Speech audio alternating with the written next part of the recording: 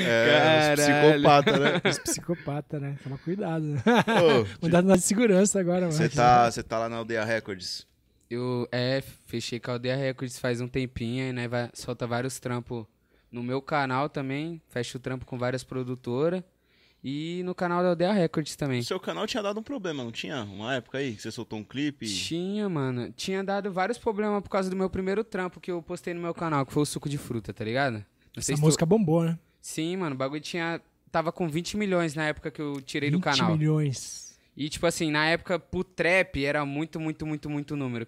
Peguei. peguei um- Qualquer, qualquer estilo, mano. 20 milhões é, É. é número pra caramba, qualquer estilo. É, é porque, tipo assim, hoje em dia o trap tá batendo milhão mais fácil do que batia naquela época, tá ligado? Sim. Tipo, aquela época tava engatinhando mesmo. Aí bati 20 milhões pá. Aí nós, us... nós não fez videoclipe nem nada, nós usou imagem da série. E tinha ficado muito bom, tá ligado? Tipo, tudo que eu falava na música, nós pegava um trecho do Todo Mundo Odeia o Chris. E, co- e aí o pessoal gostou muito de assistir. Aí eu peguei público da série, público do trap, público que já me acompanhava de batalha. E o bagulho explodiu, tá ligado? Só que aí o primeiro BO foi que não monetizou por causa que nós usou imagem da série. Mas só explica pra gente, Magzinho, antes de terminar. é, o Todo Mundo Odeia o Chris é a série que todo mundo gosta. Todo mundo assistiu quando era pivete e tal. E assiste até hoje, passa. E aí tinha um lance que relacionava com a música, com a suco de fruta. É, tipo, tinha imagens da série, tá ligado? Que passava meio que.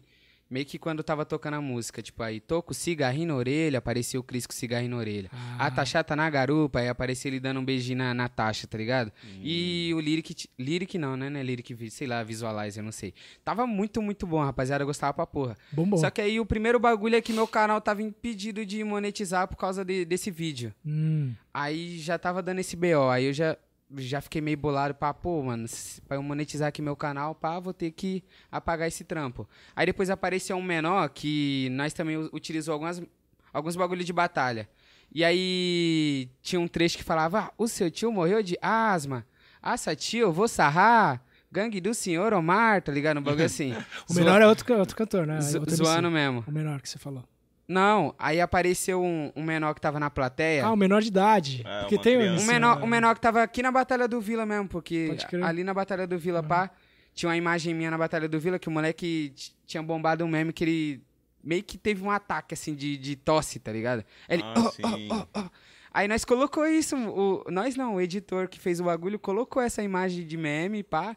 Só que aí, mo- quando, como o trampo bombou mesmo, o moleque começou a ser zoado na escola, tá ligado? Por causa Ele ficou desse famoso bagulho. por causa do seu clipe. É, os caras, ah, tá, apareceu tossindo lá no bagulho do suco de Sofrendo fruta. bullying, E ele era menor de idade. Era. Ixi, tem que ter Ah. autorização dos pais. Não, apa- não, é, né, não foi nem isso. Ele chegou, deu um salve. Ah, mano, eu queria que apagasse esse bagulho aí, pá. Só E que, pediu, pediu de boa. É, queria que apagasse esse bagulho aí. Eu, ah, mano, o bagulho já não tá monetizando, pá. É isso. Vou apagar. Avisar pro, Já pes- tinha divulgado avisar bem, pro né? pessoal. Ah, o bagulho, o som tá no Spotify ainda pra quem quiser ouvir. Tá quase batendo 10 milhões lá no Spotify.